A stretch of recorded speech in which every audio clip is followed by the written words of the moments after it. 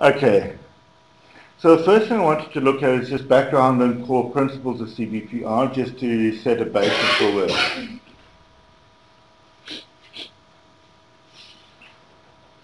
Okay. Uh, participatory action, third PARC, CBPR, all of these, they're very wide terms encompassing many different ideas. And there are multiple terminologies have been given to all of the approaches. The aim of this lecture is to give some background to the methodology, to look a little look a bit at why PAR and issues of power are so important in health, and to focus on some interesting ideas, methods, and contributions of participatory action research to other research approaches. So it's really the broad outline, and then from there we'll start going more, more deeply into some of the areas.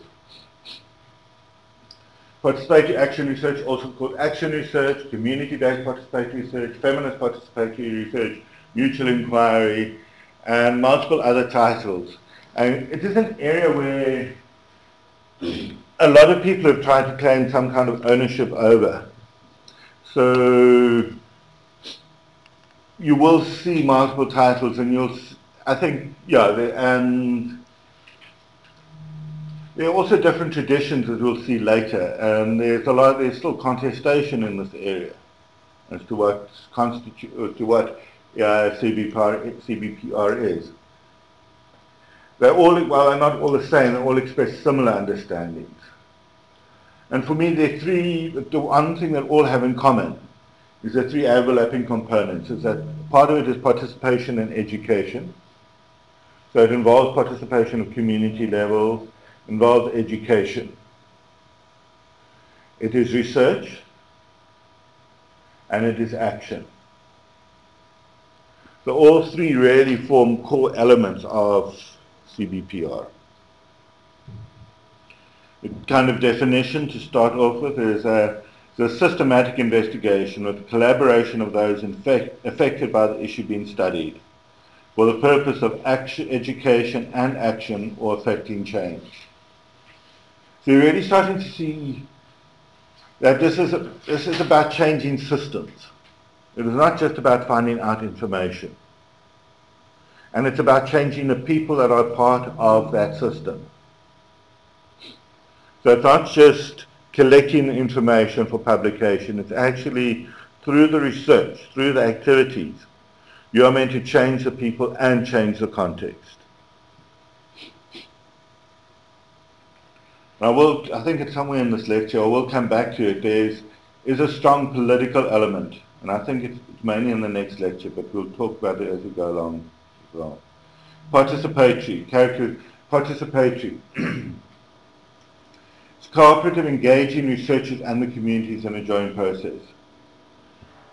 So it's not, you don't go in as a researcher with a fixed idea of what you want to do.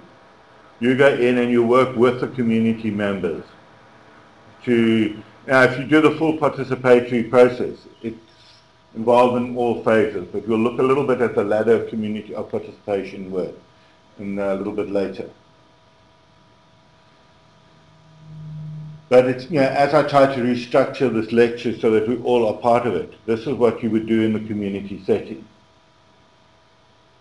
There's a co-learning process, it's systems development and community capacity building. So the other side of it is when you talk about education, it's always that assumption that we will go out and educate the community. But core to participatory work is the community educates us. Uh, I think that education happens on two levels. It's education about what is going on in the community so that we can become more effective. But also, we, if you're really open and working properly, you're learning about yourself and learning, developing your skills the entire time. I talk within the qualitative methods course about your work as a, as a qualitative researcher is a lifelong learning process. I think the same thing applies within the participatory, within the CBPR researcher, is that you do learn a certain set of skills, but the one thing that I've picked up and gained every time I talk to a new CBPR person or see a new book, I see a new methodology. And one of the texts, again, that I will give to you this afternoon, uh, was a, something from the uh, Health Systems Conference. It's a textbook that you can download for free from the internet, and they had a whole lot of methods that I'd never heard of before. And there are different approaches, and it's a, it's a place where creativity is instinctive, and you have to work creatively. You have to think on your feet constantly. It's an empowering process, giving community, giving participants control. The whole point of this, of this process is to give up control. It's something that's very, very hard for particularly health, health uh, professionals to do, where everything is about controlling and providing and being God, particularly for the doctors. and there's a balance between research and action. So if you're just going and collecting data, you're not doing CBPR. Okay, then CBPR for health. It's, it's pretty much similar, but obviously you're moving into more of a health focus. So it's a collaborative process that equitably involves all partners in the research process and recognizes unique strengths that each brings. CBPR begins with a, a research topic of importance to the community with the aim of combining knowledge and action for social change to improve community health and eliminate health disparities. Okay.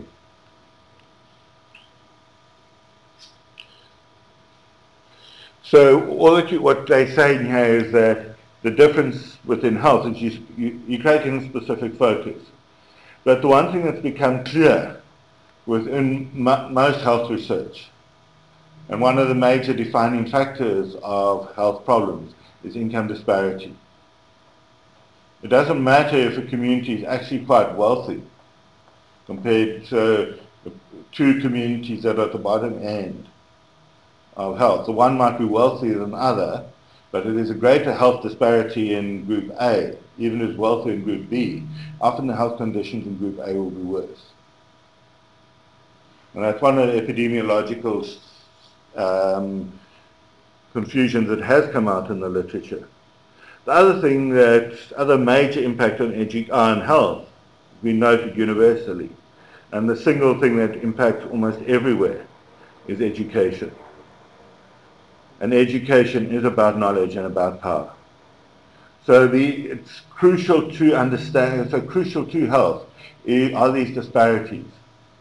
So CBPR is ideally placed to start to challenge some of these core issues around the impact on health. Okay, what is distinctive about this approach? And when you're looking at CBPR, it's not the methods, but the methodological context of application. So a lot, of, some of the methods that have been developed are new. And are things that aren't, approaches that aren't usually tried in um, in other research in other research techniques. But you can do a randomized controlled trial as part of CBPR and it be CBPR. But it's approach that one takes in doing that that makes the difference. So you can do experimental studies. A lot of it does tend to more towards a more qualitative approach and a more understanding approach because that's where a lot of community people are more comfortable. But you can, but it's, the methodologies don't define it. It is how you do it and how you work with the community that actually defines CBPR. And it's the attitude of the researchers, determine how, by and for whom the research is conceptualized and conducted. So it's about the location of power and the research is giving up power and handing over power to community members that starts to make the difference.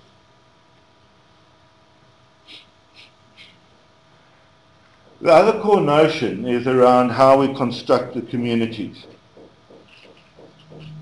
So we move from a deficit mentality where communities are dens of pathogens, ignorance and risk that need to be saved. And you see this regularly in the, in the literature and in processes. At-risk groups, groups that, why do people not change their behavior? Why are these, how do we change this group's behavior? All of these, I use that little language myself in a lot of studies. So, and I've seen communities as disempowered, seeing communities as victims, to moving towards an epidemiology of strength, where we don't, we acknowledge some of the threats to community, but we, we also start to look at the assets and opportunities for growth. And where we can work together with these communities to start to develop something new. So if you go into, say, a community like Delft, which I know very well, and you start to see, look at, well, okay, the problems, there's uh, methamphetamine use is manifest. There's rising levels of tik use, rising levels of HIV, there's huge problem of alcohol. That's the one side of it. On the other side, and this is common with all real, all communities really in South Africa, and something I noticed, uh, yeah, there's the uh, NGOs, there's a, there's a groupings of people that are really committed to change, and that work on a daily basis around that. One of the things I noticed with uh, when we did the OVC study, Orphan and Vulnerable Children study, we started off that work with worked, you know, we went into, I remember particularly going into town of the one day. And we set up a large workshop of groupings that were providing assistance to orphan and vulnerable children because the whole point was to try and build these organizations.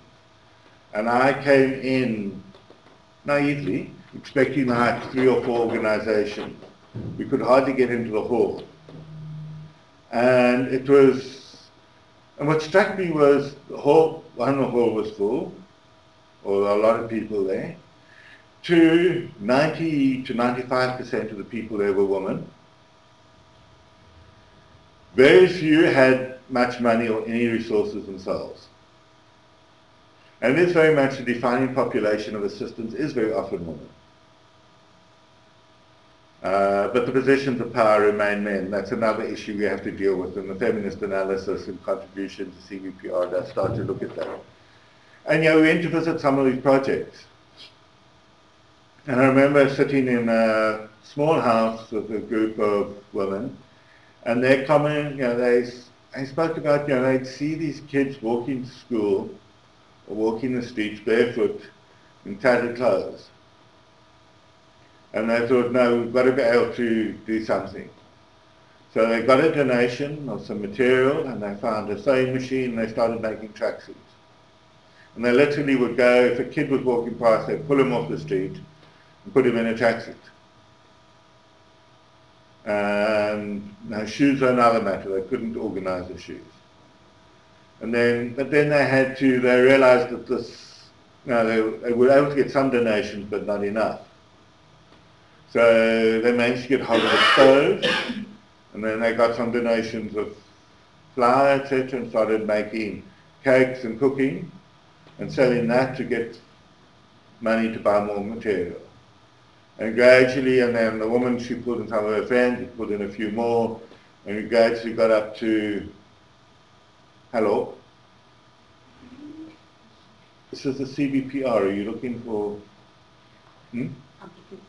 Ah, okay. I'm Eunice. Uh,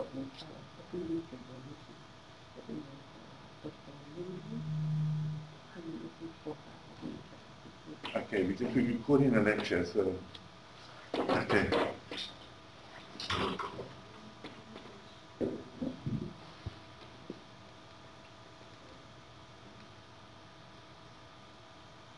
Thank you. Thank you.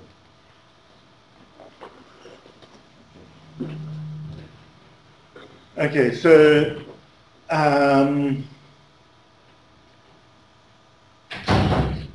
Yeah. So, and that story was replicated at multiple levels. And it gave, gave I think, a, a couple of interesting processes that happened there. And I didn't really have the skills, or the resources. And given I was based in Cape Town and these all happening in Welkom, there wasn't really, there wasn't really the funding to either live there or to have people permanently stationed in, in, in all of these places. But yeah, there's, and it's, we, we started to try and give some limited assistance to all of these groupings. The other thing that came out from that was just a good way of assessing what the major problems are in, in every community. And if one looked at the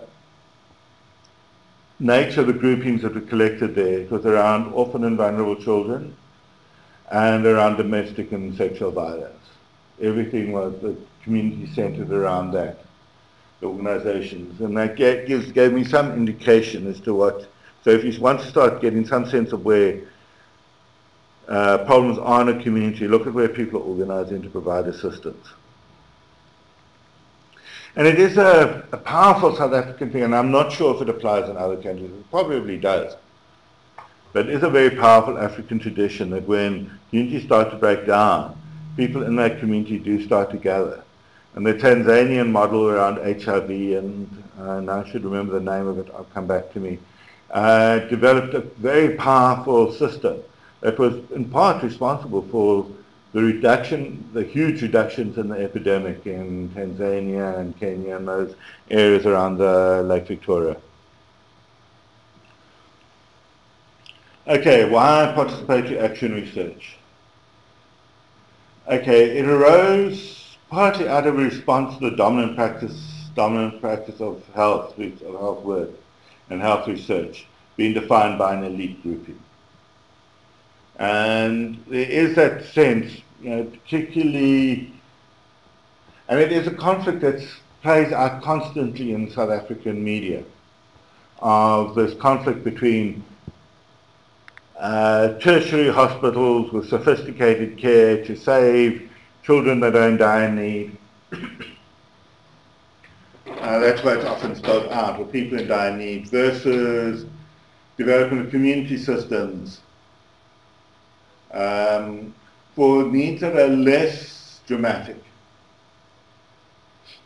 Now the reality is that the tertiary system can buy into a whole lot of emotional needs, emotional issues. You're saving this child on death's door.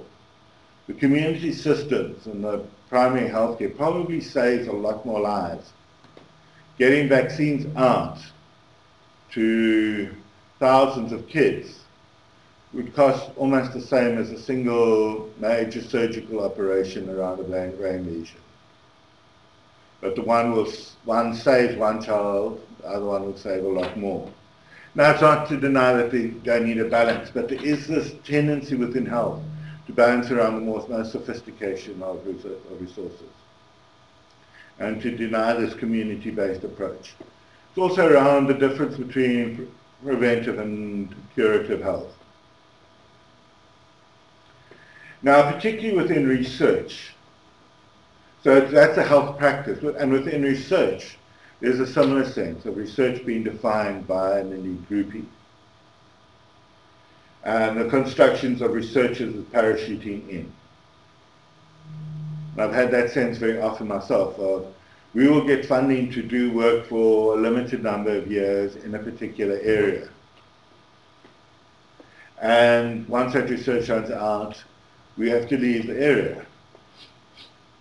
Now, even when, you know, with the work we were doing around uh, risk and shebeens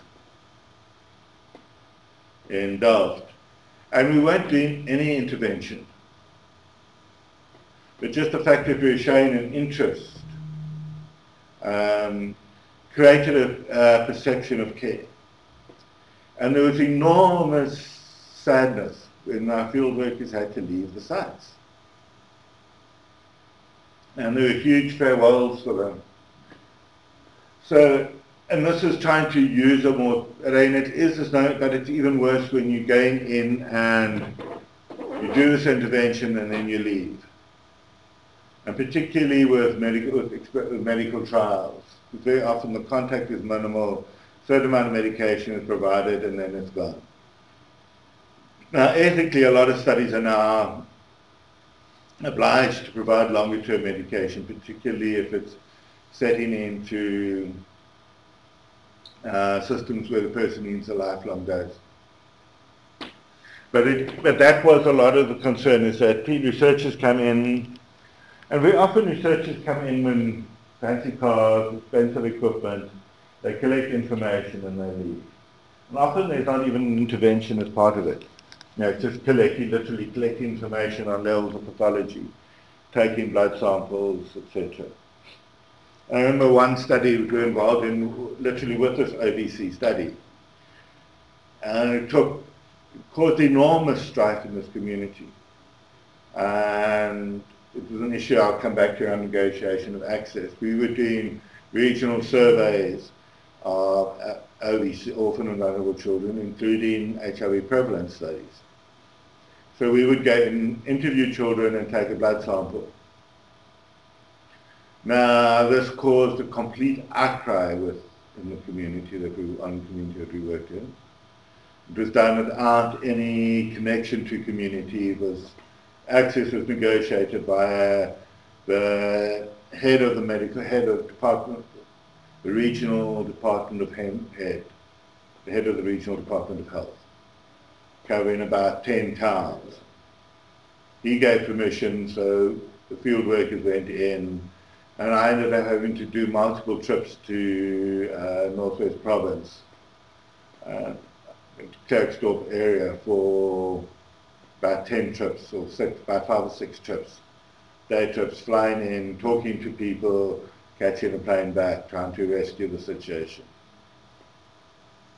And I think that is kind of the opposite end of the extreme of researchers just coming, collecting information, ostensibly to do something, but you never, sh- and nothing, very, very little ever came out of that work. So that's the one construction. Then there's the need to empower communities to take control over their own health. So, need, so that's why PAR is what PAR is about. Recognition the community has its own knowledge, and that it's, and this knowledge is often not accessed or acknowledged. Increase the chance of the community taking on findings, and the desire to move from deficits to working with strengths. so this is so the, it was interesting within this one study. We had this one component that was just taking survey data. And then the other component was trying to work actively with community members, with community organizations, trying to provide support and assistance, trying to provide networking within them, and trying to let them build off one another's strengths. And I was managing that and I was still very young as a researcher, so I was learning my area. Uh, but I think, you know, it, for me, on reflection, it balanced out. At that point, it was a lot of confusion. But there's this need to start moving from deficits to working on strengths. And for researchers, particularly, that parachute approach is very seductive. It's much quicker, it's much easier to do, it's less messy, and you're more likely to come out with data that you can publish. And the reality of research in the modern era in research and health is you're not measured by the contribution you make to health systems or to healing. You are measured by the number of publications you have. And it's one of the contradictions that I sit with all the time. I do a lot of work with foreign, with international research bodies. And I run around and do the community stuff and deliver the data. Yes, I've got a hell of a lot of publications that I feel I haven't really necessarily earned. But I really battle to find the time to write for myself. I'm constantly running the studies, developing systems, and it is a contradiction that we sit with. Will you reference that other guy, international researcher? And I think, yeah, with some there's been an effort to build in the space uh, to write. But it's, it does get very hard.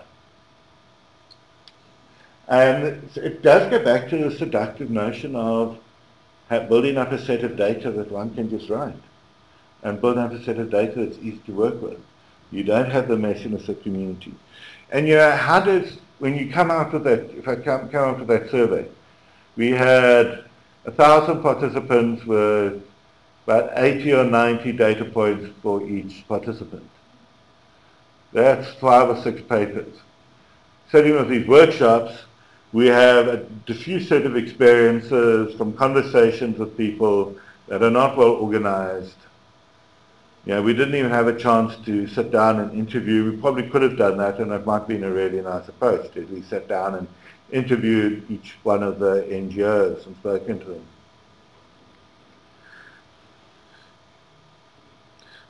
But yeah, so there are those two things. Empowerment, um, that is critical to conceptualization and practice foundations. So what we're talking about with empowerment is a social action process in which individuals, communities and organizations gain mastery over their lives in the context of changing their social and political environment to improve equity and quality of life. So empowerment is an active process and implies that handing over power. It implies giving people who are feeling disempowered that opportunity to gain power. And I think if one goes back to that statistic I spoke about earlier of communities where there's a large differential in, in income, as to why somebody even with a larger income, if there's a higher differential, they'll be more, they'll be less healthy. It is because of that lack of empowerment and perceived lack of control might be crucial to that. I don't know. I think that's something that we need to investigate. But for me, it makes sense. Empowerment is seen as a critical intervening step towards good health. And the more work I do around HIV, and the more work I do around substance use, the more work I do around violence and gender, the more crucial this, this notion of empowerment is. Because in all of those, when you start looking at well, why don't you use condoms? It's difficult to negotiate with my partner. And that's both men and women. And that's it. And, and often, you know, both parties in the same relationship might talk about it being difficult to negotiate condoms with that partner that's and it's a sense of confidence in self, it's a sense of own worth. It's the same as a, uh, must have been four years ago now, there's a major announcement in Washington AIDS conference. that, okay, I think there are more things than that about it, but around um, new way to stop the AIDS epidemic with these gels, the COVID gels. That has been completely stonewalled because people don't want to use it. And part of it, again, is women feeling that if they discovered having used it, they'll be rejected, or because a man doesn't like that sensation, or they don't like their sensation in the vagina before during sex. But uh, um, even around health, and not around health, around nutrition, empowerment is a crucial issue. Being able to access the right foods, being able to prepare the right foods, having the confidence to do that. So being in control is crucial to both prevention and curative processes. And the gender violence issues is another area that speaks for itself. And it's, for both parties this is crucial. Because when we're working, looking at around um, one of the things that we found quite early on in the working shebeens is that Men perceive the right, if you say bought a woman a drink, she's got to sleep with him at night. So this became a common transaction. Now, it, but if you start to break that down, now that was, okay, that was a common transaction. So if you start, first, at, if you break that down at a, at a ecological level, at a broader level, the unemployment rate for women is much, much higher, and the salaries, even if women are employed, is much, much lower. and access to, well, education is fairly similar. In fact, women might have a slightly better education. Uh, it doesn't improve their access to work. So women are already disadvantaged in terms of accessing money, so being able to go into these venues. But then if you went into the venue itself, there was there were different notions of power within that. The men saw that men would get very angry with women who didn't comply with the contract. That very obviously favoured men. I mean, it's very cheap sex to buy a woman a beer and expect or two or three beers. Women would try, so the woman would get their empowerment or their power by manipulating the system. So they would go, they would drink with several men. Or they'd go as a group to drink with one man and one of them, only one of them would have to sleep with him. Or one spoke about how she had this big male friend who she'd drink with several men and then go and sit with him and nobody would be prepared to challenge him. But there was another notion also within that of, and it came from actually one of our field workers who spoke about, for women it was a area of power just to be able to go into the shebeens.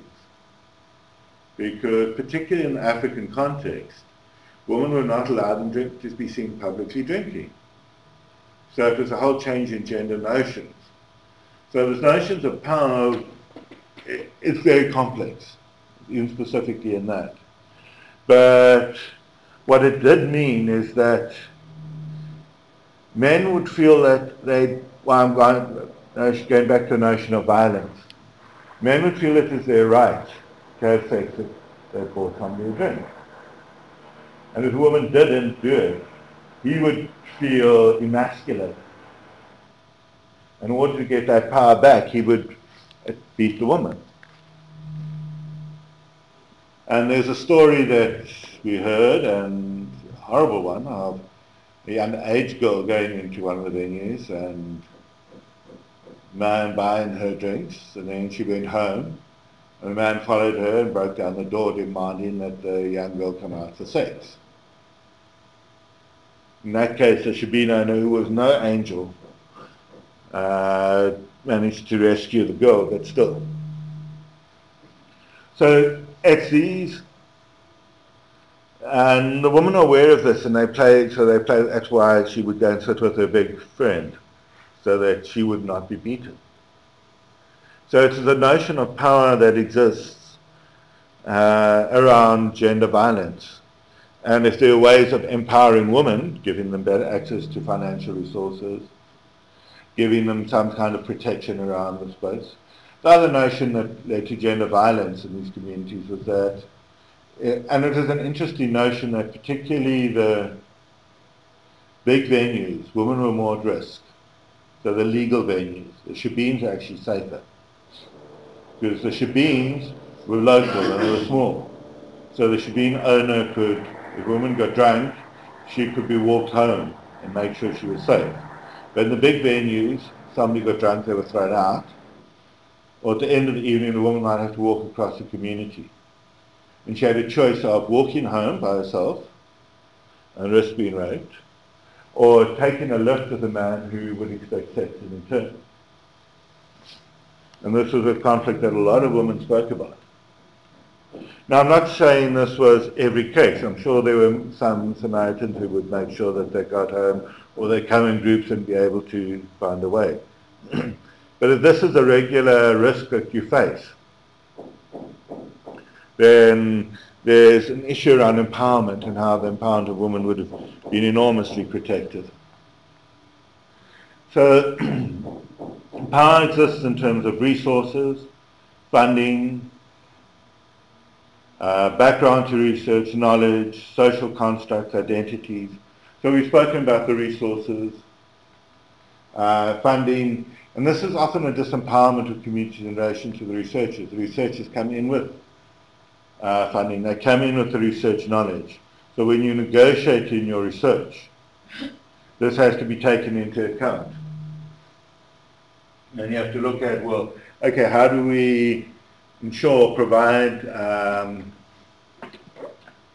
how do we empower communities, not just around income, but around knowledge and the capacity to, work in the research. There's social constructs coming from the university, and it's, it's something that's very easy to trade on, is you know everything and the community knows nothing, so they've got to listen to you. Identities, there's racial identity, and a whole lot of other identities of power and education.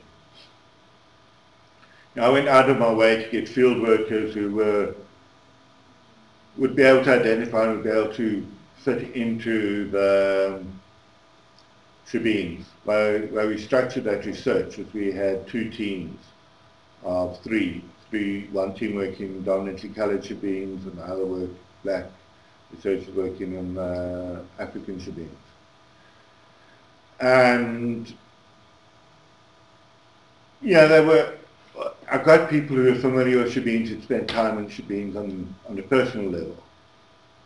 But as soon as they went in, and they were obviously identifiable because they were not allowed to drink while they were at work. And they would spend, where they worked, sorry, is they would spend a week observing in a Shebeen, a week doing cross-sectional surveys. And then the woman would come in to be interviewed on a, either qualitatively or on a, a CASI survey format. And we went back to each Shebeen four times in a cycle once every three months or once every four months. So they were very familiar to, so the community knew who the, knew the, and the Shebeen, uh, Shebeen people in the Shebeen knew them. Even though they came from fairly common, similar background, because they were Stellenbosch researchers, and because they were earning a salary, they were immediately seen as different and above.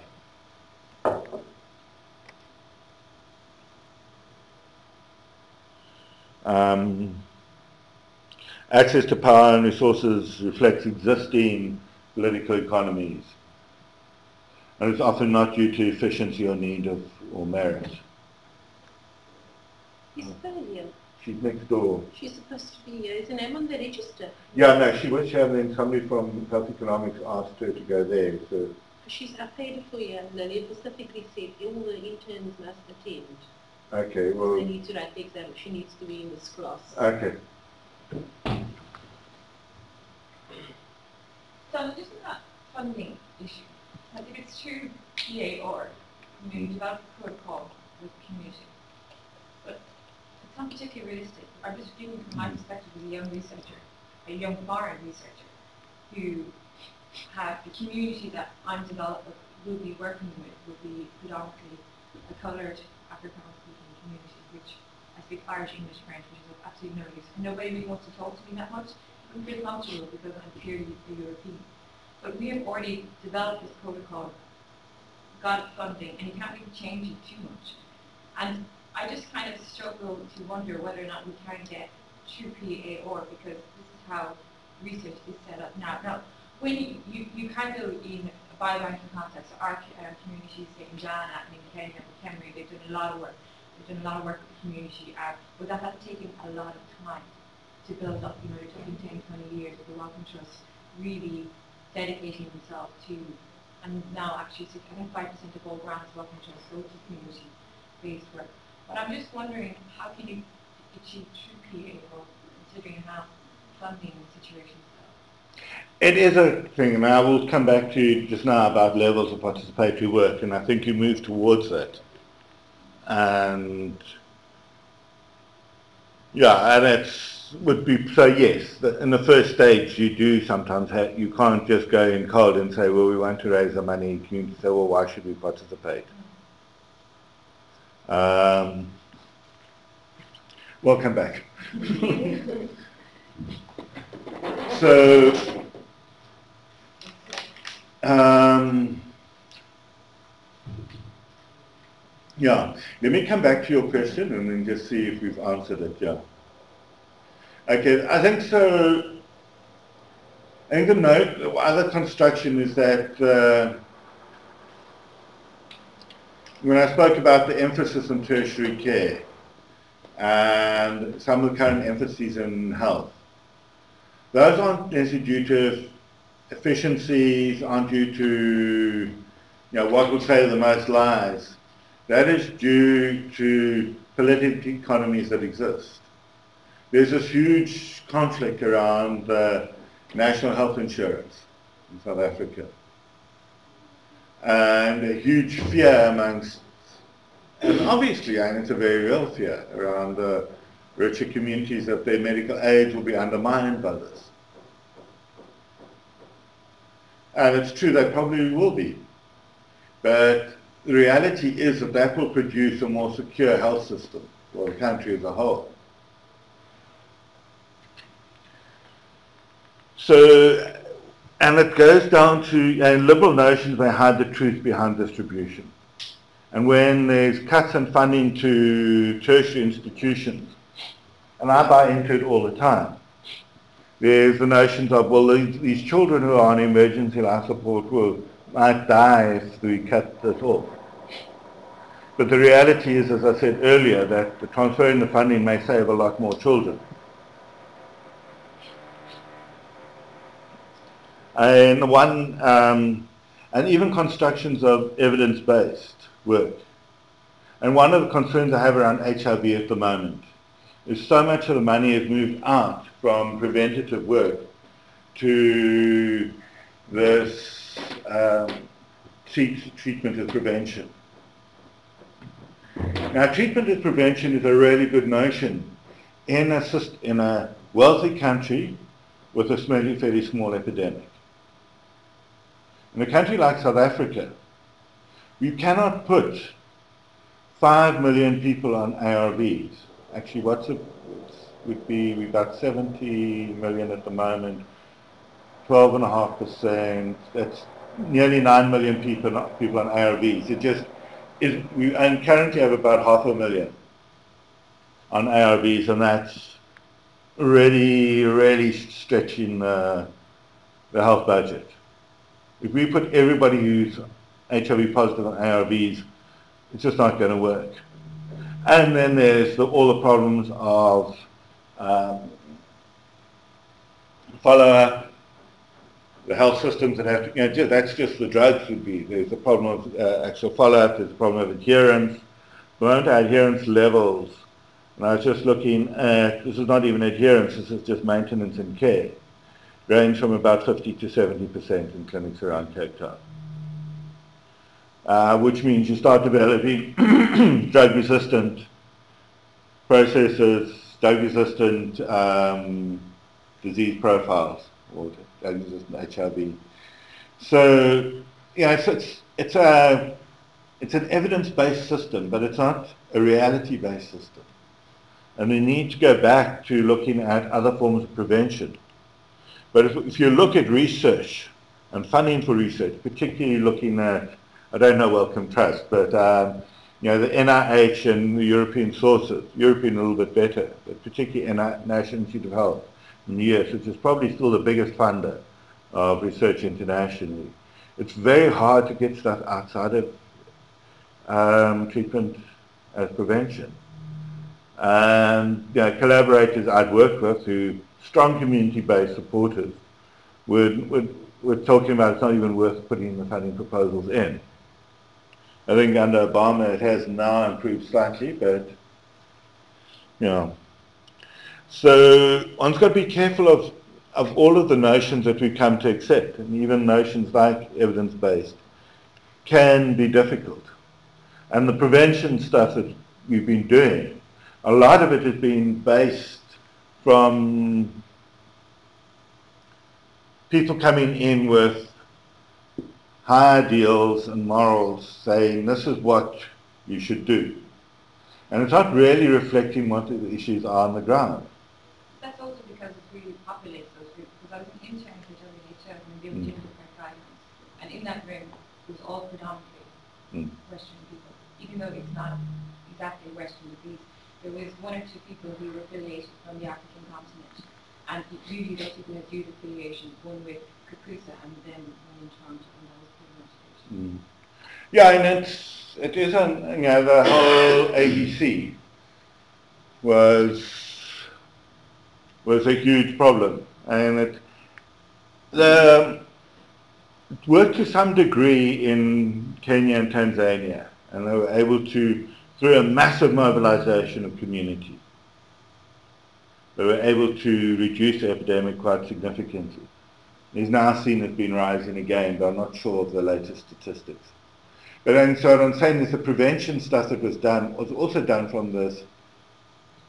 Very often, it wasn't even, wasn't certainly wasn't evidence based, but it was done from an elitist perspective. And just on the WHO stuff, I don't know if you've read the book, and unfortunately, I don't know where my copy is anymore. Uh, Wisdom of Whores. It's a lovely book to read. Uh, it's written by somebody from WHO who was reflecting on what she'd learned from the street workers in sex workers in Philippines and uh, Far East. And uh, basically completely conflicted with whatever was being coming out of the major health organizations. And, uh, and HIV AIDS, it has generated a huge level of groundswell of participation. And that has been core to the ending of the epidemic in the US and in Europe, and reducing it. But it, we need a different approach in Africa. And a different approach is needed in the East. And so, and that hasn't been allowed. There's there a lot of the approaches that try to stick with that. And it's interesting, I'm starting to see now more calls for saying, okay, what we've been doing was wrong, we need to find a new way in. And the Shebeen study that we did was basically saying, not a single study, intervention attempt, trying to work with people who drink to reduce their risk for HIV has worked. So we're going back to basics. So I'm, and we've done that. I've got some ideas, but we still need to get something off the ground, and I'm trying to write proposals on that, but trying to uh, submit multiple proposals that are too much funding at the moment. So, yeah, and I think there are the constructs of morality and normality that guide how people intervene. And there are also some of the evidence, even some, even the evidence-based notions can be problematic. And it gets down to research, and people, I don't know if you are familiar, I hear it all the time, history is written by the people who won the battles. So research is controlled by the people in power. So those who they generate the subject matter for research, they control who will lead the research, they direct where the research will be done, define the nature of the interventions that will be tested. And it actively, and the systems actively preclude challenges to that, often argued on the basis of science. So if I go back to the what I was talking about with um, treatment and prevention. If you try and take stuff in, new challenges in, there's active argument against it, saying that there's no evidence, we need to stick with where the evidence lies, and the evidence is treatment and prevention. I've just finished uh, writing a proposal submitted on Friday with a group where we've been trying to get funding to do work around women who've experienced violence and trauma. Because there's such strong evidence that women who've experienced violence, sexual violence, particularly uh, in childhood sexual abuse, are massively higher at risk. The difference in terms of uh, HIV prevalence, the difference in terms of risk behavior that we picked up is huge. And tied in with that, you know, there's a multiplying effect of them being more likely to, those women be more likely to be using substances at high level, more likely to get into um, abusive relationships, all of which then replicate the trauma. But it's been really, really hard, and we've been, there's kind of a saying we recognize it's important, but we need to do this. So we've eventually now tied it to treatment as prevention knowing amongst ourselves that there's no ways that South Africa will ever be able to int introduce full coverage of ARVs for every person that's affected, that's infected. But at least trying to build adherence amongst HIV positive women who experience trauma and trying to, the idea is to set up trauma informed care, so to work with clinic staff uh, to get them to recognize the, particular additional levels of care that women who've experienced trauma need. And the intervention, the study is directed around women who Uh, are on ARVs to keep them adherent, but hopefully the implications will go a lot further. We'll have to see if we do actually get the funding, but yeah. So, and that's not participatory work by any, it is actually, it's participatory within the health services, which is an aspect of it, it's not community based, it's health service community, participatory work. But very often, but as I'm saying, the subject matter, and it came out very clearly with the PEPFAR work. That was a huge amount of money that changed the face of HIV intervention. And it was extremely positive. But there were certain ludicrous declarations. It couldn't be used, it couldn't apply for sex workers. It could not be, no conversations around abortion or anything like that could be part of it. And there are even restrictions on condom distribution. Certain restrictions. So, and PEPFAR, which, but I'm particularly going to uh, it just created a, it provided a whole lot of money, but shackled the hands of so many of the people working in it. It directs where the research will be done. And there's a lot of conflict currently within the US about whether NIH money should be used outside the US. A lot, most EU funding is for use in the EU, so it's, and those are the two, probably the two biggest sources of funding internationally. You know, it's hard to argue, in some respects it's hard to argue. People will want to use money inside their own country. But the reality is majority of the health problems exist in Africa and Asia.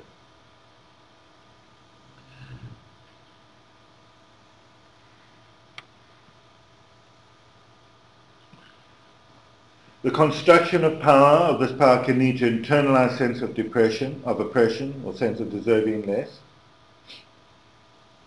Now, the way this works out is that those who are HIV positive get told that they are HIV positive because of their own behavior.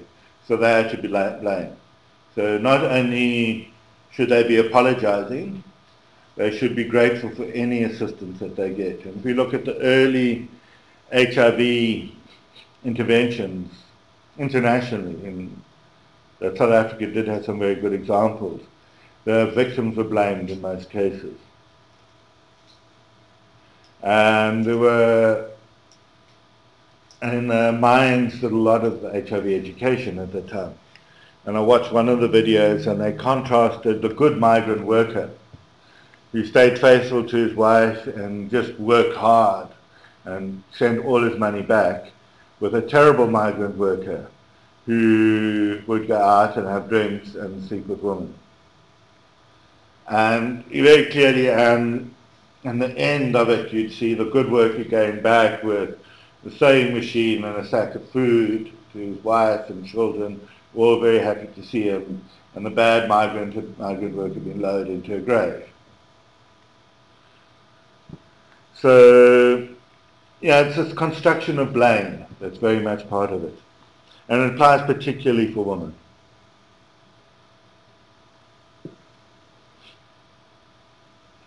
Technical language, so it's a power, construction of power relationship and what uh, Kiara was talking about of having to get around some of those relationships of power. Technical language can disempower communities as control as can control over resources. So researchers have to constantly look at how they represent themselves and act in terms of power relations.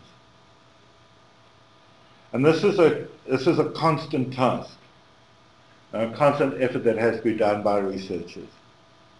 And it's, and I balk at it sometimes, and for years, a period, I was completely put off participatory work, because I'd worked on one study, it was participatory, and put a lot of effort into organizing uh, feedback in the community. And I got into the community to do the feedback, and three people arrived. And we provi- uh, provided refreshments, which you'll see later is crucial for community work. We organized another one and put even more effort into distribution. About seven people arrived. Yeah, we were catering for 100. So, yeah, it's, and I'm not sure what we did wrong.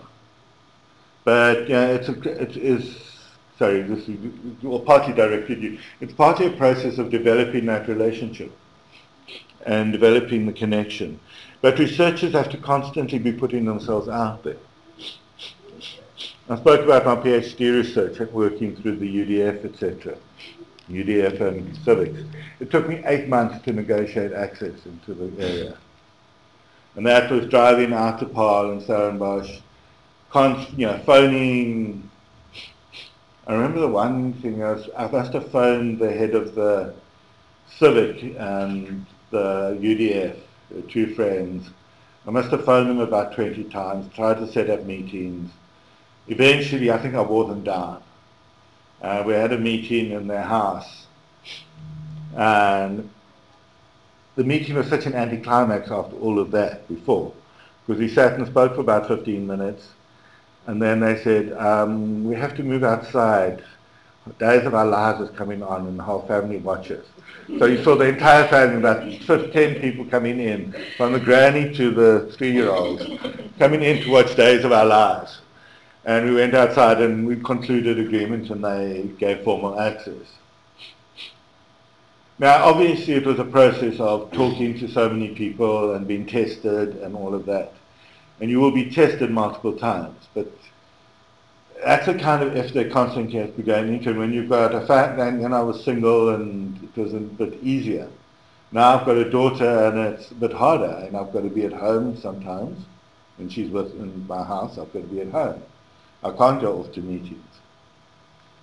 Uh, you've got a lot of stuff has to happen after hours.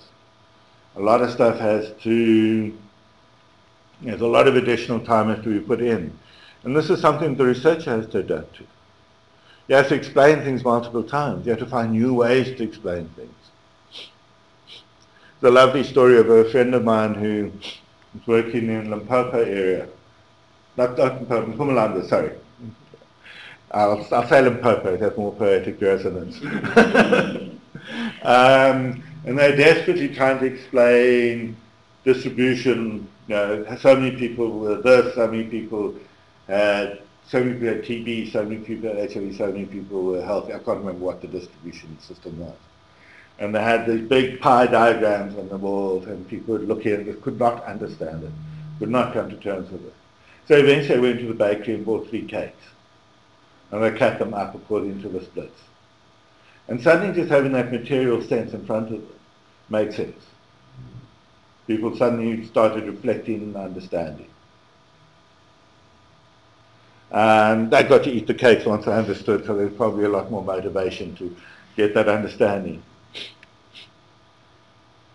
So it's, it does put a lot of additional work. Um, yeah, you spoke about levels of empowerment, Karen, and this is one of the things I want to just look at. If you look here, oh no, sorry, this is levels of empowerment, sorry. There's individual, there's organizational, neighborhood and community. All of these have to, so you've got to look at all of those aspects when you're looking at empowerment. Dimensions of empowerment is participate, so one level, the community has to be able to work together. The organizations that are actively part of that community. Have to be able to interact and connect and have to have that sense of, own sense of power. And then there's the individuals, the people themselves have to feel that they've got some power to be able to make a difference.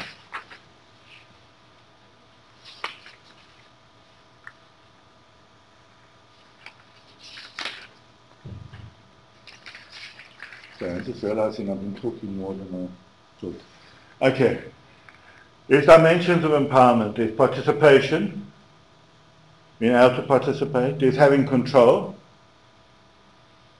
And then there's critical awareness. Now these, that's partly is a graduation. So participation is, is in some respects the easiest. Having a feeling for community members to have a feeling of control and being able to actually influence decisions is another level. And then developing critical awareness, to critique and modify and work around it requires a higher level. And part of my background training was um, working as an anti-apartheid activist in the 80s. I worked with unions and I worked with uh, civic structures. And for me, what was fascinating was just, particularly working with the civic structures, was just the different levels and the and different levels and different understandings of power. Working within those working within those groupings, and um, uh, I'm going to come back to that at some point. But particularly there, just uh, what was going to say was the relevance of core documentation. So the Freedom Charter became a position, an item of core power that people could reflect and use, as we might use a different kind of academic text. The Freedom Charter is used as a crucial text to argue, and I did a lot of work around, did work around housing and access to housing, and that was used, and we are working with this grouping, I wish I'd kept the paperwork, developed a specific charter around access to housing and housing what should, what should be there on housing for people. What empowerment bodies is social change processes and transforming conditions. So what is the change that is required and how do you actually set about and develop those structures that will facilitate that transformation?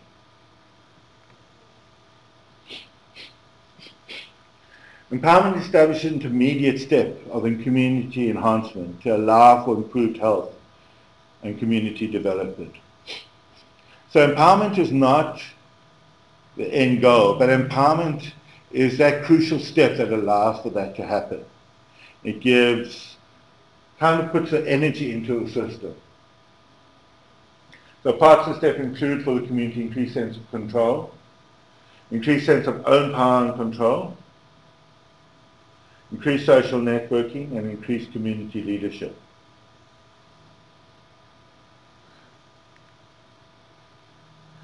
And that social networking, just to reflect on that briefly, is crucial. And if one looks back at apartheid and the history, one of the crucial aspects of apartheid was breaking, and in particular forced removals, was breaking down social networking and the destruction of that.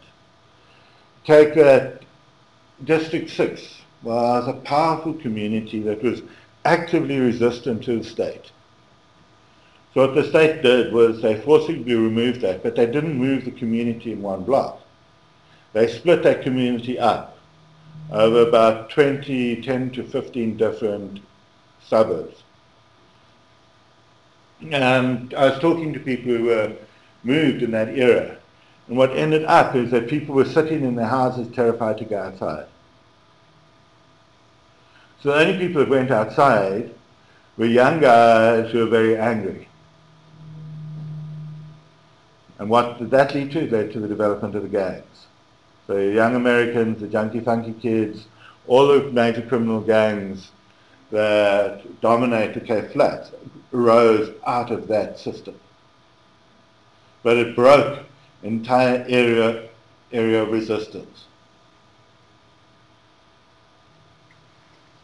So and what it also, and other, so, and so apartheid kind of gives the antithesis of community development. Because the other thing that was done was the constant arrest and torture of community leadership. And what you do, if, if somebody, if leadership does develop, if you take it out, and then if you torture community leadership, that person returns broken, it, effect, it constantly is breaking down that level. No, okay, sorry, going back. So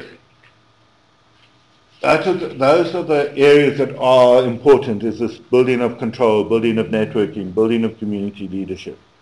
Now this is of course hard. hard at the personal level. Now it's hard for researchers to hand over power. You've got money, you've got to account for it.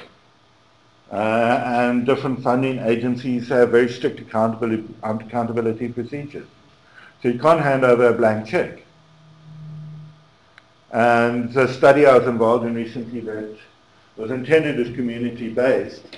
And one of the crucial, it's got a whole lot of people volunteering, but they thought that they were going to get handouts a result of this. So you also do face the sense of entitle, uh, face the problem of potential feelings of entitlement. Okay, so but power is hard to hand over, resources are hard to hand over, both personally and the researchers will want to keep our salaries intact. And uh, yeah, and power is hard to hand over, power over decision making, how the research will be done. We are expected to maintain scientific procedures. Now, what happens if there's a challenge to that and different approaches are demanded? How do we negotiate that? And there's a far greater acceptance now of qualitative procedures or alternative methods. But it is still within the literature, if you can hand over an experimental trial, you're far more likely to be published than if you have a community-initiated study that works on photographs taken or people talking amongst themselves in a workshopping format. Trust for both communities and researchers is hard. Communities have, and, and Cape Town is kind of a really bad example of a research, of a good research community because everybody in Europe and the US wants to come and do research in Cape Town. It's beautiful, it's got nice beaches, it's got good restaurants, it's, you know, it was rated as one of the top 10 foodie rest camp cities in the world, it has wine farms, beaches, etc. But what that means is that a lot of research has been done, and a lot of communities are sated with research. And if, I was just recently talking to people in the winelands, and they have researchers up to here, researchers up to here, because they've just got too many studies, more, far more studies than they can handle. The winelands is beautiful. So, and it's, it's just a, and a lot of the researchers come and leave in the Department of Health, I've worked really hard to develop relationships there. And I give feedback whenever I do studies, but so many people have come in and just collect the data and then say goodbye and never get anything back, or they might send a copy of the paper. But most often the Department of Health will find the paper two years later in, on a literature search. So there are these problems with research being done. And it's a, there is a trust issue with communities already. Frustration and anger can arise at any point in time. And they are the, are the vested interest. I doing community feedback in uh, in Delft once. And I got a hugely angry response from the Community Policing Forum because one of the groups I critiqued was the police. With the police were applying racist approaches in the way they were tackling Shebeens and there are clearly groups of police that were um, demanding bribes. Otherwise they would close Shebeens. And so, and when you get to the situation of methamphetamine use, it's uh, considerably worse. But you have to constantly work on maintaining communication and establishing respectful relationships. Participation what does participation mean? Um, and what is meaningful participation? We have to reduce our, to reduce dependency on the health service and put people in control of their own health. Participation is essential. And by participation, and implicit within the statement, guys, a different approach to healthcare, moving from curative to preventive. And the construction the popular, the popular methodological mythical construction of healthcare, of health and health services, is of curative services. Now you come in sick and you get you get medical medicine and you leave well. Now, the majority of health problems that most of our communities face aren't of that nature. You know, even TB and HIV, it's a long period of treatment, and even when you're feeling well, it doesn't mean you can stop taking the medication. But you start dealing with all the other larger lifestyle diseases, obesity, high blood pressure, diabetes, all of those. Those are not issues, those are issues of prevention and issues of constant maintenance of diet. So there's a need to move to a different system. And the health sector has been stuck in this curative process for way too long. And it's, it's kind of the system that maintains the godlike status of the doctors because you can rescue a person from the point of death and bring them back to health and it's particularly within some of the infectious disease and surgical areas. And you can see it even within this faculty, that the resources provided to community health are a fraction of what is provided to surgery or medicine, internal medicine.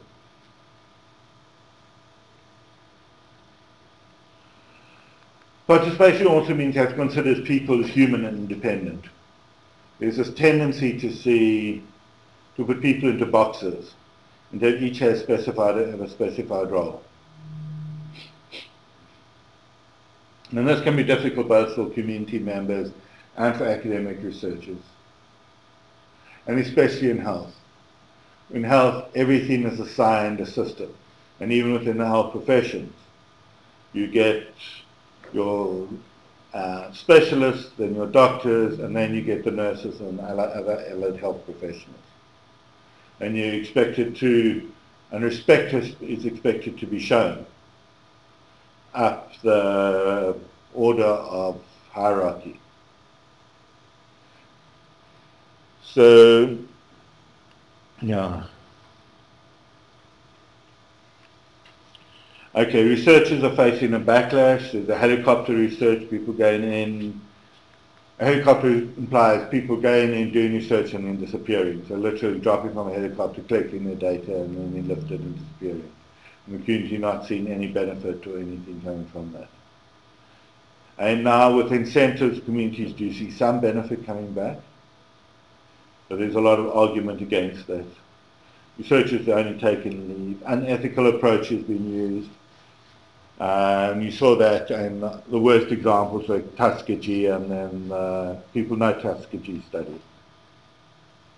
Anybody not know it? Uh, Tuskegee study was a study done in the US where men who contracted syphilis were a cohort of, of about a thousand or more uh, people who contracted it were put on a list and actively refused treatment. They were not allowed to get treatment for it because they wanted to look at the life cycle of syphilis in a control group. And their names went around the community so that anywhere they went, they were refused treatment. and a lot of people died of a preventable condition. And then this was reinforced more recently in a study done in South America where they're working with the prison population. They looked again at syphilis and other sexually transmitted diseases and block treatment. But there weren't enough people with the disease. So they gave a day, special day for the, sex, for the prisoners and sent in sex workers who were all infected to infect the prisoners. And then continue to follow the disease. So and what is interesting of that is colonizing research process is that because it was now ethically barred in the US, uh, the research was um, exported to another site. The centralized ownership of research, that its research is controlled. I mean, that's one of the problems of, of the review system, is that those who do are successful in research know more about how to write a successful proposal and are more likely to be recognized by the reviewers, are more likely to be refunded. Now, some systems have tried to encourage new researchers to come in, but it is very hard as a new researcher to get funded.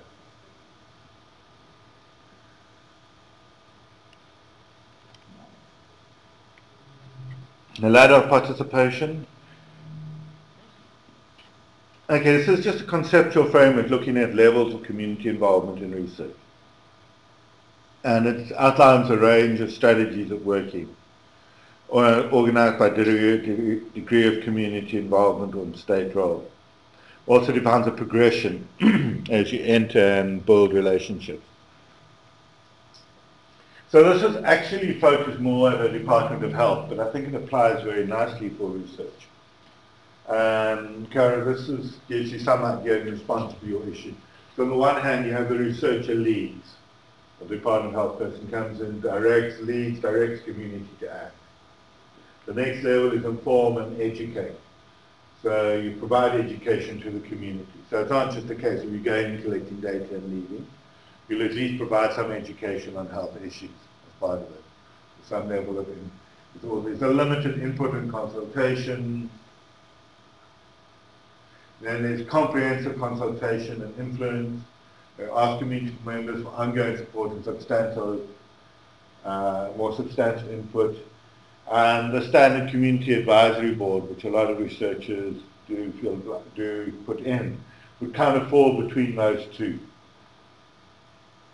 In bridging community members play roles, become institutionalized in agency, creating a pathway for formal information sharing and feedback. Now you're starting to see more active work coming in. Empower sharing community members and Department of Health define and solve problems together. When community leads, community members initiate and direct the effort. So an, ideal participatory work would be working here. Now research doesn't have to be here. There's some studies that have to be further particularly you know, if you're working with large national studies, large uh, randomized controlled trials. But it's, as Kara pointed out, it's very hard to start here. There's a lot of trust and relationships that need to be developed. So one way of going is to start here. So you'll start with developing a board. And we submitted a proposal recently around uh, trying to work in Delft on the issues of diarrhea and gastrointestinal, gastrointestinal disease illness. And we would start there, but then the idea would be to gradually over time move to there, to then. Now, obviously, within any limit, within funding study, you are limited in time. So this would be a five-year program. So we might by the end be reaching this kind of point. My hope is that by the end of that study, we'd have established a group that would exist at this level that could then be host further applications. And I'm hoping now to put in another study together with uh, to the NIH, also with um, also with, uh, to do work in Delft around methamphetamine use and to work on a participatory basis with community organizations. And also approaching uh, one of the local funders to start doing something with Shebeen owners, working on a participatory basis to try and get education on fetal alcohol syndrome into the um, clinics, into the shebeens, because we're finding very high levels of uh, FAS in, all, in the community. But this gives you an indication of the distribution. and CBPR literally probably, depends who you talk to, would come from there to there.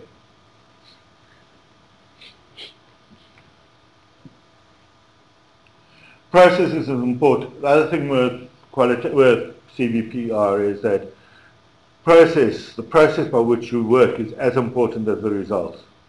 So both have a key focus. So, and this goes back to this notion of empowerment in education. So it's not just getting the results of the study out. It's not just the accurate, but through the process you develop empowerment, you develop education. And coming out of that is action. So it's not just so, you know, process is as important within CBPR as the results. And it's not just methods to comply with stated, not just a methodology to comply with your stated protocol and ethics. The implied within a participatory approach is a constantly evolving methodology. And that is also one of the real difficulties of funding proposals, is you expect it to go in with a tight methodology. Um, but within a CBPR approach, this methodology needs to evolve. So often happens is that you might fund a little bit for community consultation, and that becomes trying desperately to scratch together resources to build a gradually burgeoning collection of work on community consultation. Uh, it has to be constantly responsive to where community needs are. So, for example, if we go in with diarrhea, and we know diarrhea is a major issue, but if the people there say, well, actually the main problem is substance abuse or gender violence, how do we actually respond to that? Because our hands are somewhat tied by our funding, but we're also tied on the other side by what the community wants you can get a well, some way out of it by saying, well, okay, we, we work together on this, we'll apply for funding to do work on gender violence and substance abuse. So it's a constant trade-off for both researchers and the communities. And ultimately, it's not just research control towards publications only. And you have to leave something behind at the end of the research. Okay, taking sides. Uh, participatory research is not a neutral activity. And um, okay. You mind we're going to go a little bit beyond half past, so people still alive and awake? Okay. Participatory research is not neutral. And values, your values as a researcher are a core component and as you can see is implied, and okay, I'm taking a particularly political approach to participatory. I should have warned you about that in advance. Um, you need to work towards an emancipatory focus. You need towards this empowerment. You need to work towards liberating people from whatever's held them back in the past.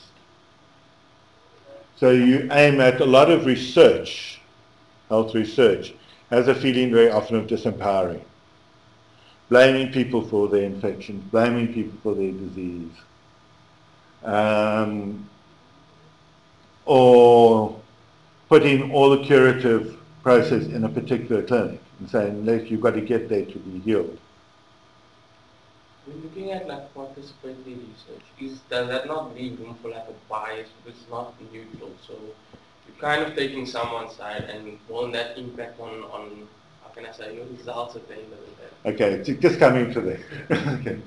Subjectivity is a part of participatory research. That's clear. But it does not mean a bias.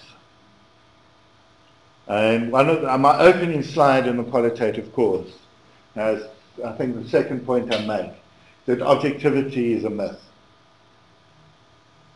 It's a bit like, or at best, a useful myth for much like Father Christmas and the Easter Bunny. Now, Father Christmas is a mythical figure that used to make children behave towards, before, as you get closer to Christmas, otherwise he won't visit, and he's monitoring everybody. And I'm sure you see multiple comic strips of these terrified kids trying to hide from Father Christmas when they put slugs in their father's shoes. or done whatever. So yeah, so objectivity. So what I'm saying with that is that objectivity is used very often by research to claim that values have an influence. But if you start to unpack that, values are clearly influenced. The decisions around the research, how it's been done, etc. Yes, systems do try to reduce external influence. Now what you're trying to do with, and this is I take from qualitative research, is you recognize where you're taking your subjectivity, you recognize where you're taking sides, and you make that explicit. Now that does two things. One, it gives the reader a clear understanding of the basis on which you're working. So they can read the paper or the report with that in mind. And two, by recognizing your subjectivity, you take it into control in your analysis. If you pretend you're not subjective, you cannot control for it. And that subjectivity appears. That subjectivity is there anyway. We're human beings. We're not auto- automa- we're not robots. We make decisions based on what we believe. So what you strive for instead of objectivity is accuracy in reporting and understanding. But we do side with the disadvantaged in the work. You side with the community members. Now obviously if the community members demand a tertiary hospital, and you you can't support that. You, you, has, you have to add reality to it. You have to add components of that to it. And the interpretation we give is from the side that's been lacking in, in power, in traditional power. So you work from what their needs are. But remember when you're reporting, you're saying this, the community's needs are this and this, to be able to address this and this. So it is a reasoned argument and there's a clear analysis of why this is there. So yes, you are biased, but it's accurate and it's clear and it's, your process is there.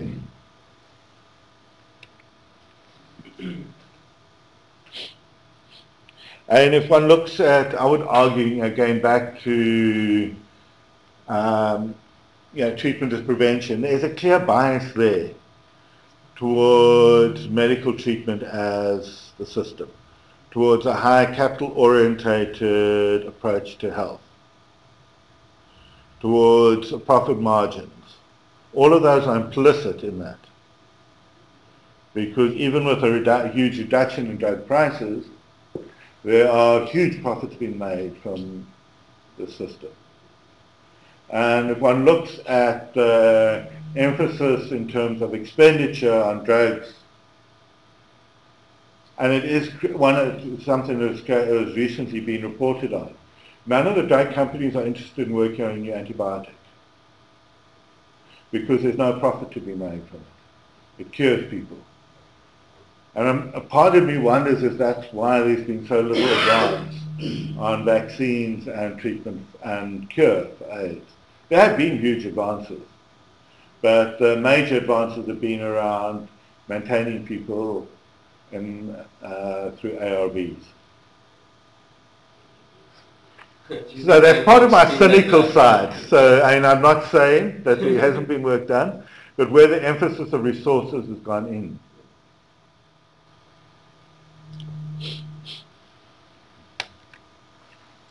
So knowledge is not value free, but always serves the interest of one group or another.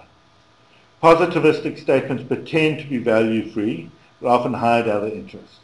So as I've just been talking about with what is the potential around a drug orientated, drug orientated treatment.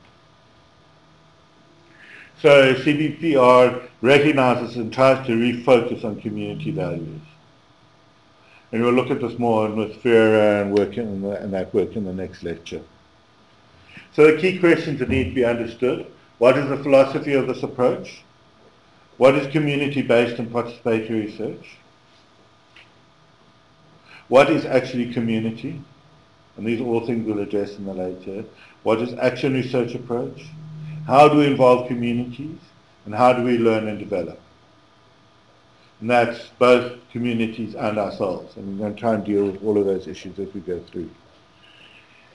CBPR is, become, is an increasingly important focus for health research.